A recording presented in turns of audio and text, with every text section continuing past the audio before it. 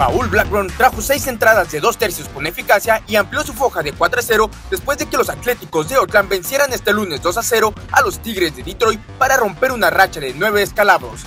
Tony Kemp conectó un jonrón solitario en la tercera entrada y Chad Panger consiguió un sencillo producto de la cuarta. Mientras tanto, Blackburn concedió cuatro indiscutibles y ponchó a tres antes de salir al montículo de los séptimos episodios. Al Forford y Jason Tatum anotaron 30 puntos cada uno para impulsar el regreso de su equipo en el último cuarto y los Celtics de Boston terminaron imponiéndose este lunes 116 a 108 a los Bucks de Milwaukee. Esto con la entrada y la victoria de los Celtics que empataron 2 a 2 en su serie contra los Bucks en las semifinales de la conferencia este y ambos clubes disputarán este miércoles su quinto partido en Boston. El equipo que obtenga cuatro triunfos ganará la serie. La doble medallista olímpica Paola Espinosa anunció este lunes su retiro como deportista tras una carrera de 28 años como clavadista profesional.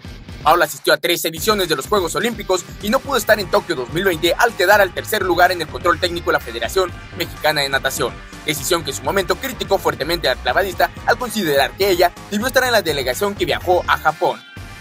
La FIFA desestimó este lunes los recursos de apelación de presentación de la Federación de Brasil y Argentina y ambas selecciones tendrán que jugar el partido de las eliminatorias de la Copa del Mundo que fue suspendido el año pasado en medio de un caos de la cancha de Sao Paulo por el incumplimiento de los protocolos contra la pandemia del coronavirus. En uno de los episodios más insólitos de las pasadas eliminatorias, funcionarios brasileños de sanidad pública ingresaron a la cancha apenas unos minutos después del silbatazo inicial de septiembre pasado, esto para constatar si cuatro jugadores argentinos habían cumplido con el requisito de cuarentena. Y esto sería todo para el silbatazo el día de hoy. Recuerda seguirnos en www.netnoticias.mx y no perderte nada de tus deportes favoritos. Yo soy Ángel Enríquez y nos vemos hasta la próxima.